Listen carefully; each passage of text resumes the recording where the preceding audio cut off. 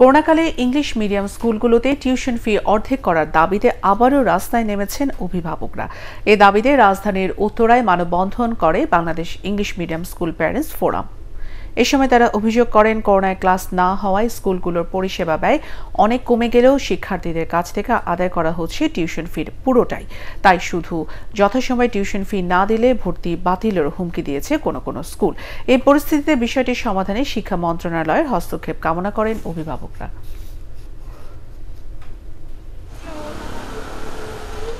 English medium স্কুলগুলোতে করোনাকালীন সময়ে যখন অনলাইন ক্লাস চলছে, তখন টিউশন ফি হান্ড্রেড পার্সেন্ট তারা দাবি করতে পারে না। করোনাকালীন সময়ে যেসব অভিভাবকরা টিউশন ফি দিতে পারছে না, তাদের সন্তানদেরকে যেন অনলাইন ক্লাস থেকে অমানবিকভাবে বের করে দেওয়া না হয় এবং তাদের সন্তানদেরকে যেন কোনোভাবে তাদের অ্যাডমিশন ক্যান্সেল করে দেওয়া না হয় টিউশন ফি না দেওয়ার কারণে।